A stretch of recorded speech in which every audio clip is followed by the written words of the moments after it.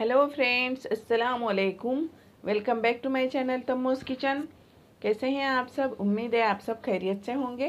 अल्हम्दुलिल्लाह, मैं भी खैरियत से हूँ। आज फिर एक नई रेसिपी शेयर करूँगी मैं आप सभी के साथ। रेसिपी स्टार्ट करने से पहले एक छोटी सी रिक्वेस्ट फ्रेंड्स आपको अगर रेसिपी अच्छी लगे तो प्लीज़ लाइक शेयर और सब्सक्राइब ज़रूर करिए। और आज मैं शेयर करूँगी spicy veg toast spicy veg toast बनाने के लिए ली हूँ यहाँ पर मैं चार ब्रेड की स्लाइस वन टेबल स्पून ली हूँ chilli flakes, half teaspoon ली हूँ मैं हल्दी पाउडर, और नमक लिए मैं हाफ़ टी स्पून से ज़रा सा ज़्यादा नमक आप अपने टेस्ट के अकॉर्डिंग डालिए। सौ ग्राम ली हूँ मैं बेसन, यहाँ पर आधा टमाटर मैं बारीक चॉप की हूँ। अगर आपका छोटा टमाटर है तो एक लीजिए। और यहाँ पर बीन्स ली हूँ मैं तीन से चार और बारीक चॉप की हूँ। गाजर लिए मैं आधा और इसे भी बारीक चॉप की हूँ। एक प्याज छोटी साइज़ की लेकर बारीक चॉप की हूँ और हरी धनिया की पत्ती ज़रा सी डाल रही हूँ। बेसन और ब्रेड का ये बहुत ही टेस्टी और हेल्दी नाश्ता है। आप इसे टिफ़िन में दीजिए बच्चों के, चाहे नाश्ते में खाइए। और इसमें हम बेसन में डाल रहे हैं चिली फ्लेक्स हल्दी पाउडर और नमक। हम इसे पहले अच्छे से मिला लेंगे। और इसमें अब हम डालेंगे बारीक चॉप की हुई सब्ज़ियाँ। सब्जियों को एकदम बारीक चॉप कर कर ही डालिए। फ्रेंड्स आपको मेरी रेसिपीज़ अच्छी लगती हैं तो प्लीज़ अपने दोस्तों से ज़रूर शेयर करिए, अपने रिश्तेदारों से शेयर करिए कमेंट करिए लाइक करिए। सब्सक्राइब नहीं किया है तो सब्सक्राइब कर दीजिए। नीचे जो रेड कलर का सब्सक्राइब वाला बटन है, उसे प्रेस कर दीजिए और बेल आइकन को प्रेस करिए। और इसमें हम अब वेजिटेबल्स ऐड किए हैं। मैं प्याज थोड़ी सी ज़्यादा हो रही है, इसलिए मैं प्याज थोड़ी बचा कर रखी हूँ। ज़्यादा प्याज नहीं डालेंगे। छोटी साइज़ की एक मैं प्याज लेकर बारीक चॉप की थी। और थोड़ी सी निकाल कर रखी हूँ। इसे हम अच्छे से वेजिटेबल्स में बेसन को मिला लेंगे।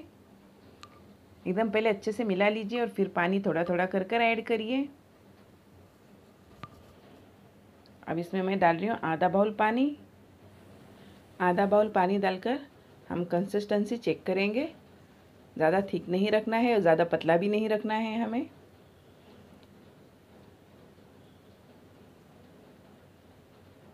हम थोड़ा थोड़ा कर कर पानी इसलिए ऐड कर रहे हैं, आटे में कोई लम्स ना हो। और एकदम से सॉफ्ट बनाए हैं हमने आटा। हमारा बैटर एकदम सॉफ्ट है, हमने आधा बाउल पानी डाले हैं अब अच्छे से मिला लेंगे। और अब हम चेक करेंगे हमारा बैटर। अभी ठीक है, अब मैं इसमें थोड़ा सा पानी डालूँगी। तीन से चार टेबल स्पून जितना मैं पानी ऐड की हूँ इसमें। और अब देखते हैं हमारे बैटर की कंसिस्टेंसी एकदम परफेक्ट बना है अभी। थोड़ा थोड़ा कर कर पानी ऐड करिए और चेक करिए। आप वेज टोस्ट बनाने के लिए नॉन स्टिक के पैन का इस्तेमाल करिए। ऑयल कम लगता है और बनता भी बहुत अच्छा है इसमें।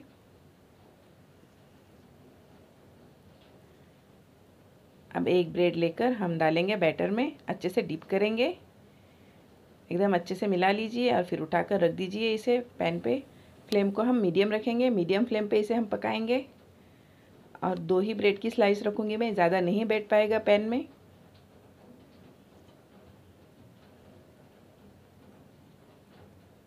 और ज़रा सा ऊपर से रख दूँगी मैं।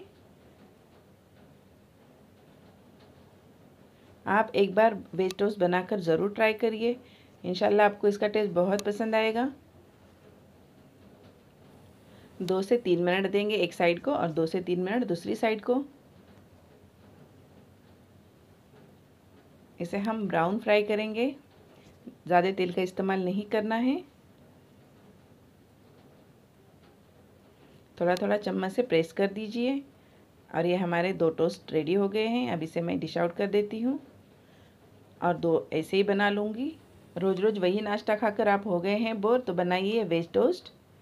और इसका टेस्ट देखिए। इंशाल्लाह कल फिर मैं मिलूँगी एक नई रेसिपी के साथ। अपना ख्याल रखिए सेफ़ रहिए। अल्लाह हाफिज़। अपनी दुआओं में याद रखिएगा। Thank you for watching